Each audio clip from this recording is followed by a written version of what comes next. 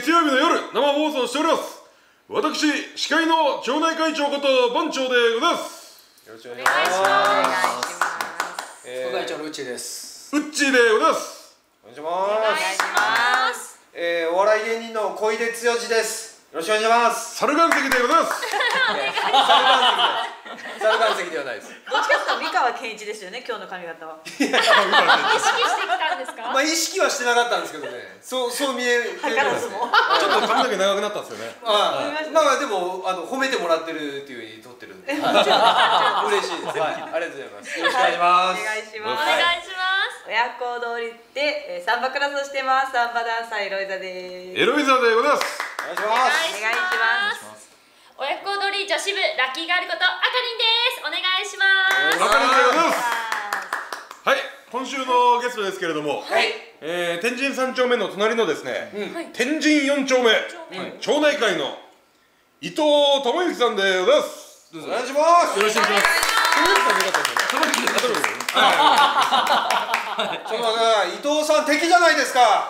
東京のライバルなんですよライバルなんですか。なんでなんで？え隣なんであ、そんなそれだけ？それだけ？あ、そうなんだ。え。。それであの安易に今発言して。ます。見切りで。はい。いや実は伊藤さんは、はい。あのー、もうかれこれ1年か1年半ぐらい前からの友達なんですけれども、はい。やもう最近あのー、親不孝通りで毎月清掃やってるじゃないですか、掃除を、うんそれにもいつも率先してこう手伝いに来てくれるんですよ。4丁目から。はおお。そうですね。四丁目から。はるばるやってきてくれるんですよそんなんか遠く遠遠い感じしますはいはいはいすぐそこです。え本当ですか？すぐそこからやってくるんそですよ。こからで四丁目になるんですか、うん。あのー、もうそこの道路挟んでですね、しはい。あのミーナ天神とか、はいはい。ショッパーズとかそちらがもう4丁が目。四丁目。でへー。あの日本銀行とか、はい。あとこう川にありますよね。川渡って須崎公園のこう手前のところまで、そこの一区画なんで、えそこが4丁目。まあちょうどこの天神三丁目親不孝通りがあって天神三丁目があって、でその渡辺通りをと渡って、あの昔のショッパーズ、ね今イオンになってますけど。あね。だからあっち側が天神四丁目。4丁目。えー、よく行くよくビジネス街っていうイメージがあるんですけど。そうですよね。日銀があるしですね。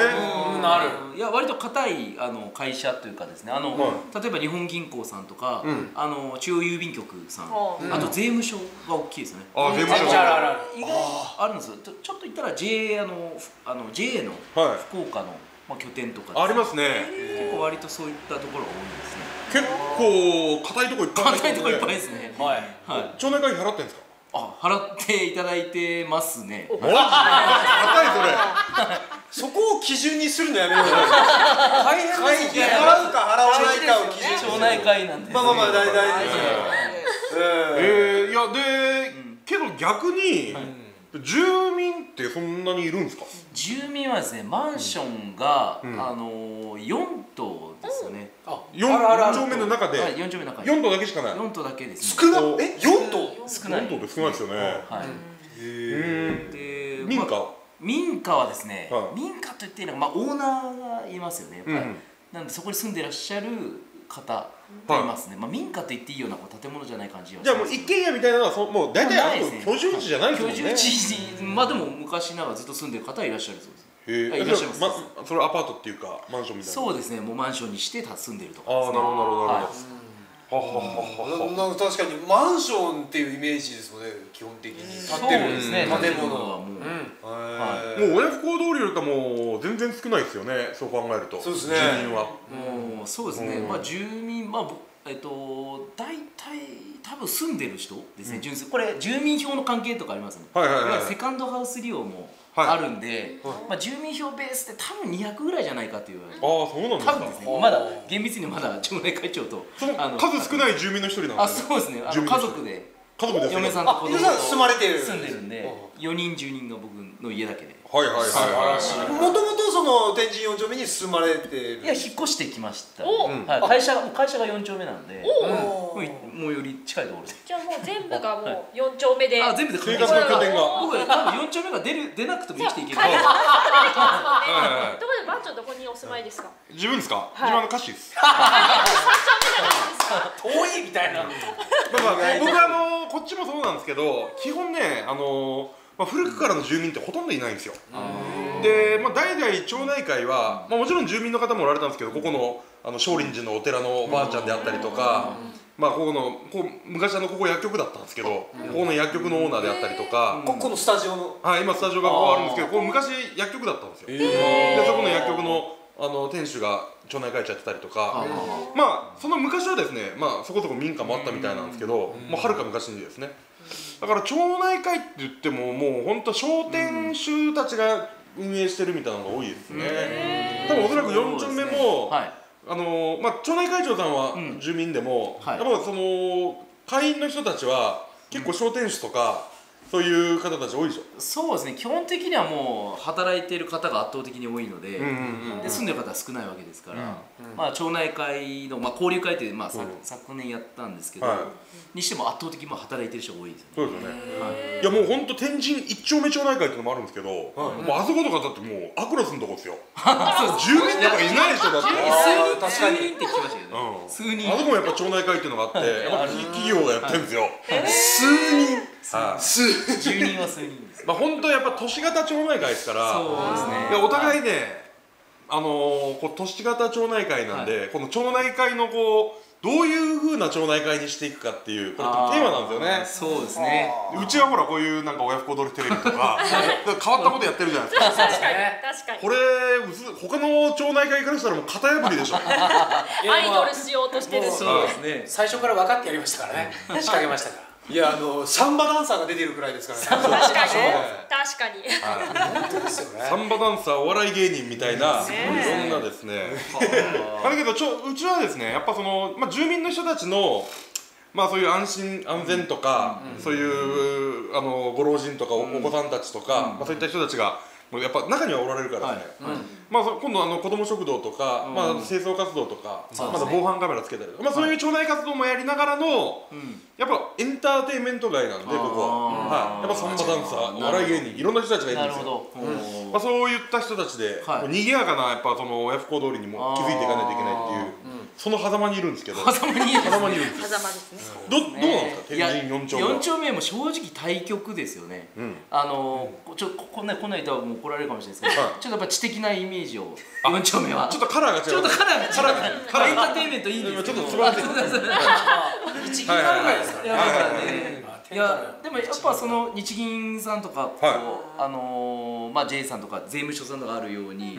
結構その周辺もですね、まあ、税理士さんとか、んあとはその金、まあ、ちょっとした金融関係のはい。会社さんとかですね結構多くてですね、はいはいはいまはい。あ資産を増やそうみたいなですね、はい。会社があったりとかですね。で割とそこにセミナーとかも結構集まってますね。あせあのそういうセミナールームなんかもこの前僕あのネズミ講かなんかのセミナーあ、ね。それも含めそれも含めですねまあまあ雑多にこうセミナーまあ知 知的好奇心っていうはいかはい。でもですね。一一回。だけちょっとあの、あの一回来てくれんとか言って、はい。何の会かもわからんで入ったらあのネズミ講のセミナーやった天神四丁目でやってたんですけどそれ言わなくてよくないですかネズミ子のイメージがつきますでもそそれを僕も言われたらあのこうダイヤモンドを買わされそうになりましたね。天神四丁目。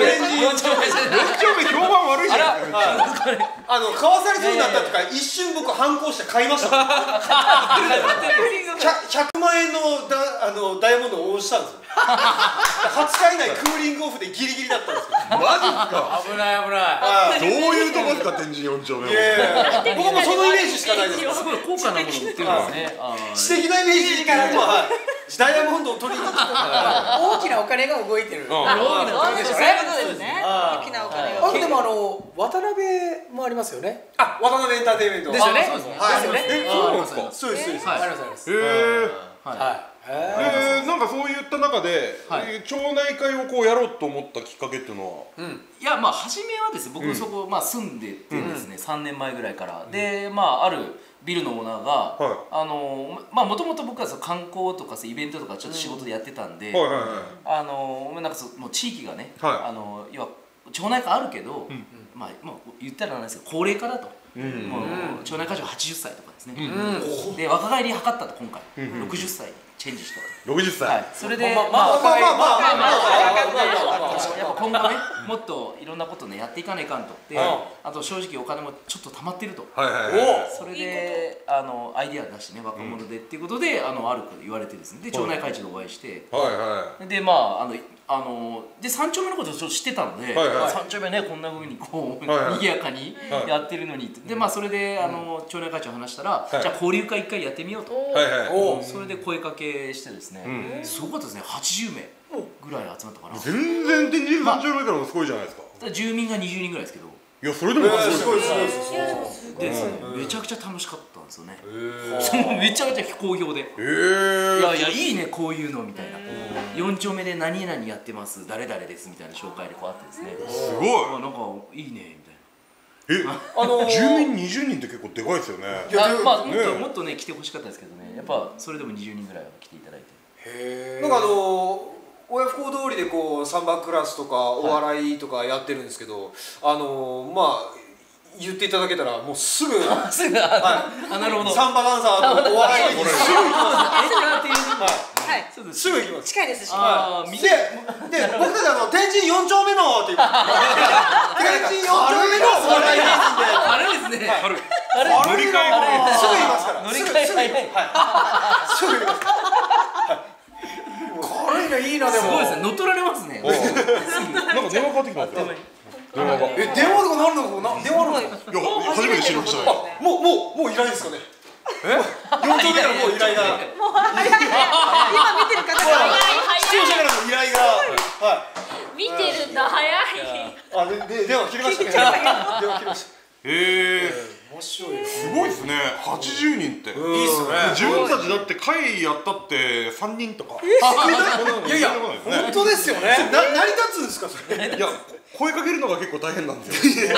声かけが。いや声いいややどうやって声かけたんです。かいやでもそれはやっぱり町内会長がもうはい。コツコツコツコツいろんなビル回ってらっしゃったからですね、素晴らしい。それすごくすごいんですよ。それ大事ですもんね。いやすごい。やそれ大事。本当。は いそれ大事ですそれ大事っすもんねって言いながらあの鼻から煙ふふ 絶対思ってないでしょ。絶対もう美味しそうに葉巻をふかして、え絶対思ってないじゃないですか。でこの伊藤さんの、いやなんでそんなね町内会の人が、伊藤さんに、このあの頼むよみたいな、言われるかって言ったら、まあ、伊藤さんのこの、まあ、人格というか、ものすごい顔広いんですよ、うん、顔広いし僕あの実はお父様と自分伊藤さんと知る前しあの知り合う前にお父さんと知り合ったんですよ、えでもこのお父さん僕あの実はあの尊敬してる一人であって。この方ねあの元北九州の市議会議員なんですけど、はい。ね、市議会議員なんですけど普通政治家ってちょっとねこう裏金とか取って ちょっといい暮らしするじゃないですか。まあそれは分かんないです、はい、そういうする人いるまあいる。かもしれない。話も聞いたことは聞いたことあるまあ、そういうイメージがあるんですけどイメージ。イメージがあったんイですメージですね。はい。イメージお父さんはね本当そういうアパートのもしいいそして質素な生活されてるんですよ。マジで、うん、でねあのーそういうあの職業なかなかそういう職に就けない人たちの、そういう支援とか、えーっとな何の会やったんですかね？市民塾21あ市民誌21のはい理事やられて、勉強会。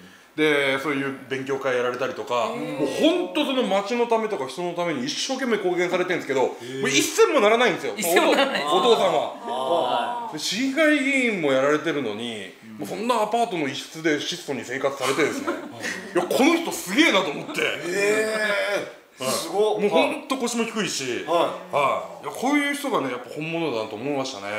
それに引き換え息子は。息子はどうですか？いやいやいや。銭の4丁目でことしか考えてない。質素にやってます。4丁目で間違えま質した。素にやっぱそういうお父さんのやっぱその元でぱ育ってきてるんであやっぱね伊藤さんも誠実。あ。いや誠実なんですよ、はい、それはもうあのお会いしても本当何分しか経たないですけど伝わりますよ。本当ですか？は本当ビ比べていただくと本当よくわかいいやいや対象物が悪すぎる。対象物。がもっと別の方用意しないと。はい。まあここな分かりやすいかもしれませんけどえー、で伊藤さんってなその、これまでのちょっと人生をこう振り返ったら、ななどなどういうふうなことやってきたんですか今まで？今まではですねまああのもともと北九州なんですけど北九州。黒崎あたりの出身。黒崎。はいはいはいはいはい。であの高校までまあずっと野球やっててで大学に東京に行ったんですね、はい。それであの、まあ、地元に戻ってくるか東京の子で就職するか悩んだけど、はい。やっぱ九州戻ってきとこうってこうはい思ってですあね、ふるさとやからですね。ふるさとに戻ろうと。ふるさとに戻る。それでまああの初め入ったのは JR 九州鉄道会社に行って。またエリートじゃないですか。佐賀駅員やってですねまず。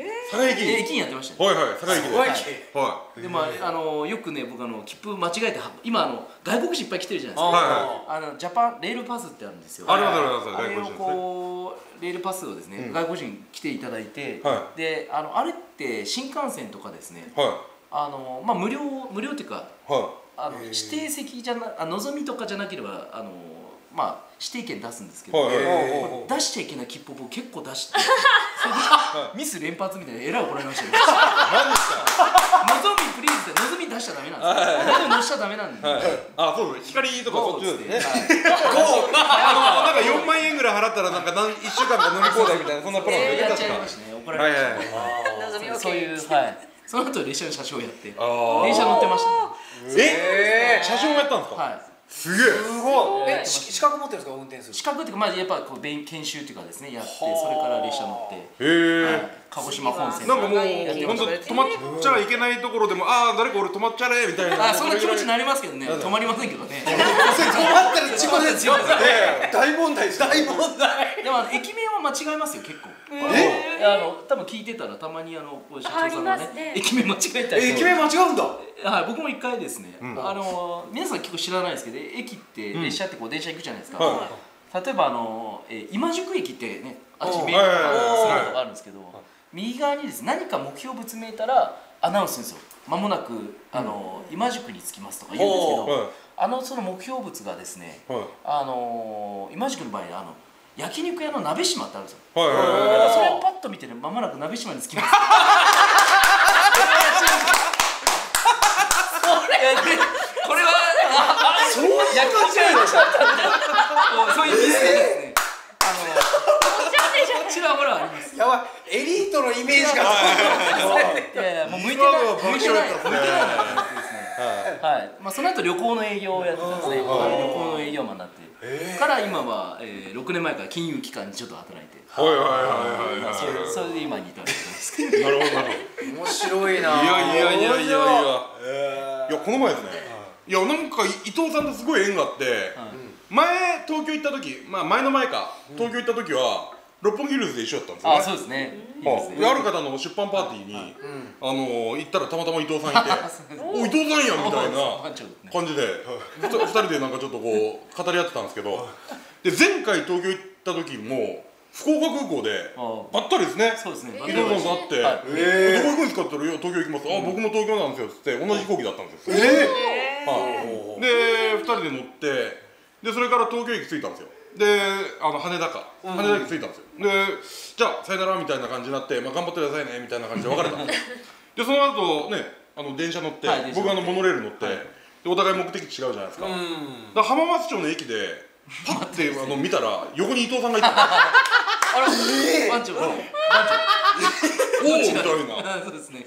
でそのまんまなんかノリで明治神宮に参拝行きましたもんあそうです一緒に。はい一緒に？お参り行きました。い。やもうちょっと時間初めからどちらかそれが目的だったでしょ はっきりもう言えばよかったね明治神宮行きましょうって福岡おる時点から。偶然を装って。偶然。後をつけて。後をつけて偶然を装ってた。そうそうそうそうそうそう。すごいですね。これ男女だったら絶対恋に落ちてません？ねいやいやいやいや。伊藤さんが女性やったらねカランカラン鳴らすやつもこう手と手がこうやってターンですよこすごい運命ですね。面白いなちょくちょくありますもんね。街いやいや歩いてて抹茶って抹茶ってまあちょこちょこ合いますよ。まあまあやっぱり同じ町内近いから。はいはいはいですね。東京でも会うっていう。不思議だなと思って。れ会う。ことないですね。ご縁があるん。でしょうねで聞くところによるとあの裏話なんですけど天神四丁目ってあれお墓とかやったってさっきああそうですね、はいあの日本銀行ちょっとこうね裏側らへんははいお墓だったらしいんですね、だから、まあ、昔からのっていうことはショッーパーズ大英とかそこら辺ショッパーズがまああっちのもうちょっと川の川の方に行ったところ。あの特殊会館あのそれこそ税務署とかあるあそこら辺のそうですね。あの付近がお墓だったらしいですね、はい、だからもう昔出るんでしょ？出る出るかなとでも聞きたくないない。んで一人とかで出てもらったら困りますよね。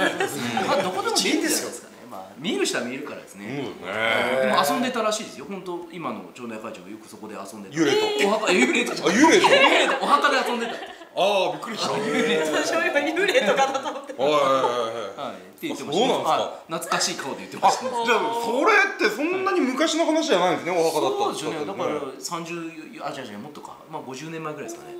なんか町内会長80歳でしょ。いやいや今は若返りになってます。あじゃあ50年前半世紀前まで。はい。ああそっか。墓だったんだ。はい。そうですよね。はいえー、また物騒な物騒っていうかなんか気味悪いとこ住んでますよね。はするんですかい。いとこですよ。いいとこです。いいとこです。いいとこです。非常にですね。あの静かですもんねい。はそうでしょうね。あまあ確かにあそこはなんか治安が良さそう。良さそあのそうで今の町内会長が防犯カメラの設置とかですね結構はいコツコツ、あの回られて、はい。されあのあの役所とです、ね、交渉して、結構設置してあるんですよ。いはい。へでもそれが実は知られてないかったですね町の人に、うん。だからまあそれ聞いて町内会でもうちょっとこうね PR したされたらね、うん。いいんじゃないですかと。結構防犯意識すごい高い方。えあのー、今日もですね、実はうちのこここそれこそここの前で、はい。あのー福満町湯が隣にあるんですけどああの白木さんのところ。が、あそこに朝方あのーたあのーパトカー止まってたら、はい、あのパトカーの窓ガラス割られて、それこそ今日朝警察が来たんですようちに、えー、で防犯カメラ見せてくれって言われて見たらバッチリ映ってましたけどあー。映ってる刑事が喜んで帰ってました喜んではい。へー。まあ、それぐらいちょっとねやっぱあのー、何のかんの言って親不孝通りもなんかそんな輩がいるんですけど、へー。どうなんですか？あ向こいやまあひったくりあるらしいですよ。あそれもやっぱやっぱ防犯カメラうはひったくりがねあひったくり。あのあそうあの赤レンガのとこあるじゃないですか。赤レンガ会うん。そこのところからやっぱ川に逃げていく時に4丁目に逃げ込むんですよね。なるほどなるほど。割と割と静かだから、へはいはいはいはい。そその時こう奪って逃げたっていう事例がこれもあったみたいですね。あそうなんですか、それもバッチリ映ってた。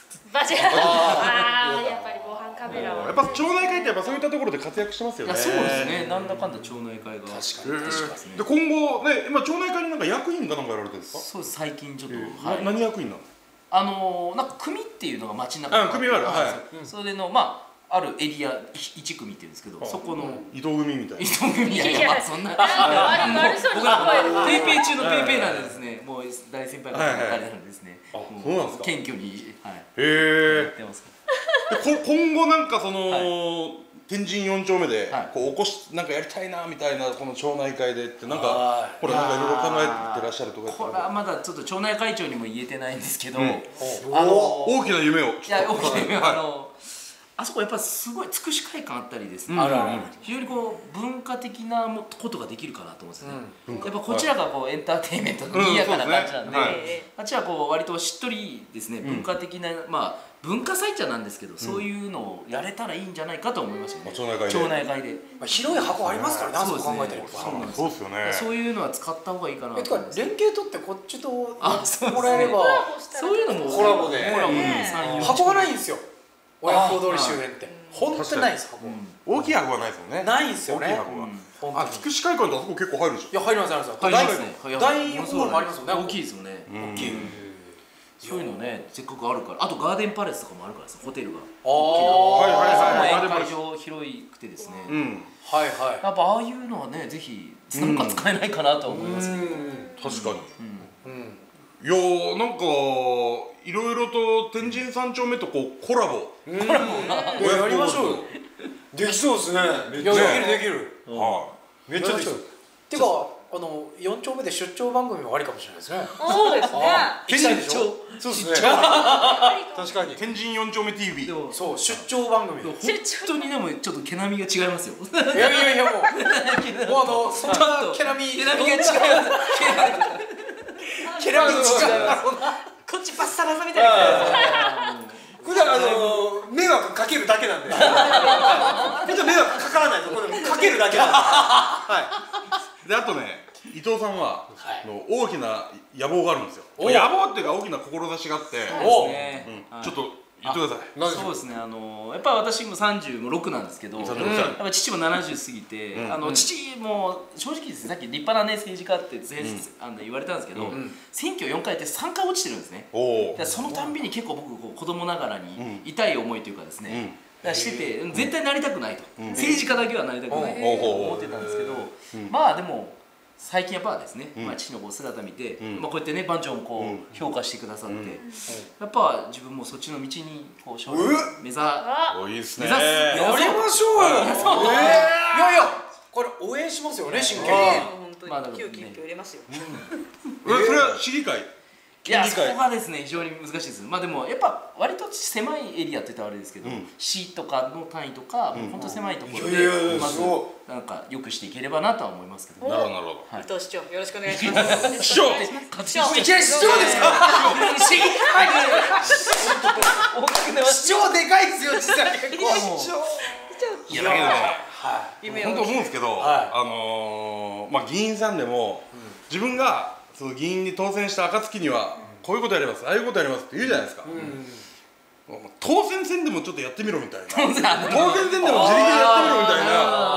なるほど。その後ろ盾がないとそのやらないみたいな自分の金は一銭も使いたくねえみたいな。あねやっぱそれなんか結局何も実績もなくてそのやっぱねちゃんとやっぱそうやって地道にこう活動をやってきてほん。で俺はこうなりたいとか言うんだったらまだ分かるんですけどやったこともなくて自分が当選したらやってみたいなみたいな。そんなやつに票入れるかよみたいな。あとねもう一個あの辻出しってあるじゃないですか。ああの旗持って、い、や何してんの？みたいな。その時間もったいねえみたいな。いやそれやるんだ草むしりのちょっとでもしたらみたいな。ゴミ拾いもありですよね。ゴミ拾いとかです。いやいやそれをやって初めて自分はその地域の人たちから評価されると思うんですよ、あこの人はね通らんでも一生懸命その町のために貢献しよると、その姿勢が大事なのに、筋出して自分の名前売るだけで「おはようございます」とか言ったって何もならないじゃないですかそれ、それだったら地域のね、あのーゴミ拾いでも草むしりでも自分はやるべきだと思うんですよね、と言ったらちょっとあの皆さんが怒られるかもしれない。ですけどって僕は思ってて。実際されてますからされてますもうそうそう。そうそうでねやっぱあのーそういった面では伊藤さんとかやっぱりいろいろ活動されてるんですよ。い。やマジで。裏でね地道にしてることがですね、そうそうそうそうそうそう。ですから、そこをね、あのー私たちはこのテレビを通じてちょっと全世界人類の皆様にね、あのー強調したい強調したい。というふうに思ってるんですよね。伊藤さんを応援していますと。ありがとうござい伊藤さんが選挙に出るとき私ウグイス嬢します。あの 経経験ありますので大丈夫です。あ本当ですか？はい。サンバダンサーもついてますわあもう踊って選挙カーのだ周り大丈夫です踊ってもらってかね？すぐイメージダウンとかならんないように あの原田の女を連れて選挙活動してるおかしいやつがいるっていう私はね大丈夫かな。お笑い芸人もですね、選挙カーの上でやっていただけますので、あなるほど。ネタやります。全然関係ない。本当ですか？今から小出剛のネタをしますって言って。自分 の宣伝を僕がなるほどなるほどそうですね。この人も政治家じゃないかと思われちゃうまあそんな感じでですね、はいい、やもうぜひね伊藤さんには僕あの天神四丁目町内会頑張ってもらいたいんですよね。そうですね。はい。でやっぱその政治家目指されるんだそのちょっと礎というか、まあ基盤をぜひねあの、そっちで築いていただいて。でぜひ満を期してね、どこかのタイミングでのタイミングで。市長選挙に、はい、あのぜひ立候補していただきたいなと。市長選挙。になりまし市長選挙にね、なっていただきたいなと思うんですけれども、ね、その時は皆さん応援してまい。りましょう。はい。ね、じゃあちょうど時間にもなりましたんで、はい今日はこれで終わります。はいなんか他に言いたいことなんかありますか？いや特にないですね。じゃあ今度あのね、いつかタイミングがあったらあの天神四丁目でも、はいあのそうですねぜひ四丁目にもぜひお一回ちょっとはいあっちにも遊びに行きましょう。そうですねはい。はい、じゃあ今日はこれで終わります。はいはい、じゃあ行きます。今週も親不孝通りに面出せよな。バイビー。